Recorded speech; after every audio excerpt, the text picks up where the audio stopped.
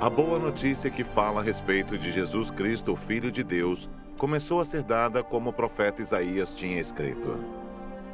Ele escreveu o seguinte: Deus disse: Eu enviarei o meu mensageiro adiante de você para preparar o seu caminho. E o profeta escreveu também: Alguém está gritando no deserto: Preparem o caminho para o Senhor passar, abram estradas retas para ele. E foi assim que João Batista apareceu no deserto, batizando o povo e anunciando esta mensagem. Arrependam-se dos seus pecados e sejam batizados, que Deus perdoará vocês. Muitos moradores da região da Judéia e da cidade de Jerusalém iam ouvir João. Eles confessavam seus pecados e João os batizava no Rio Jordão. Ele usava uma roupa feita de pelos de camelo e um cinto de couro e comia gafanhotos e mel do mato. Ele dizia ao povo: Depois de mim vem alguém que é mais importante do que eu e eu não mereço a honra de me abaixar e desamarrar as correias das sandálias dele. Eu batizo vocês com água, mas ele os batizará com o Espírito Santo.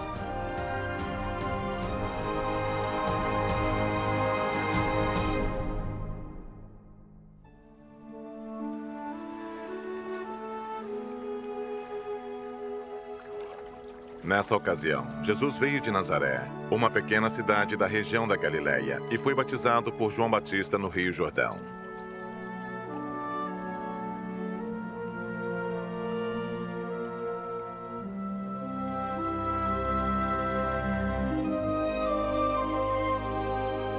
No momento em que estava saindo da água, Jesus viu o céu se abrir e o Espírito de Deus descer como uma pomba sobre ele. E do céu veio uma voz que disse: Tu és o meu filho querido, e me dás muita alegria.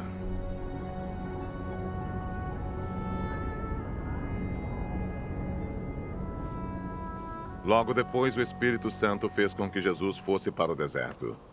Jesus ficou lá durante 40 dias, sendo tentado por Satanás. Ali havia animais selvagens, e os anjos cuidavam de Jesus.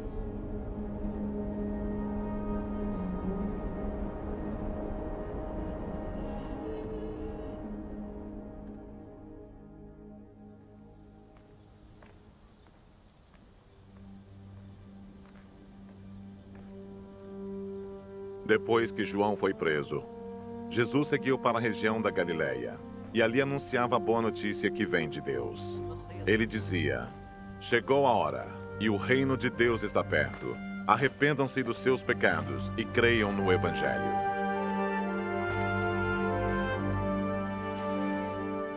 Jesus estava andando pela beira do lago da Galileia quando viu dois pescadores. Eram Simão e o seu irmão André, que estavam no lago pescando com redes. Jesus lhes disse: Venham comigo que eu ensinarei vocês a pescar gente. Então eles largaram logo as redes e foram com Jesus. Um pouco mais adiante, Jesus viu outros dois irmãos. Eram Tiago e João, filhos de Zebedeu, que estavam no barco deles, consertando as redes. Jesus chamou os dois, e eles deixaram Zebedeu, o seu pai, e os empregados no barco e foram com ele.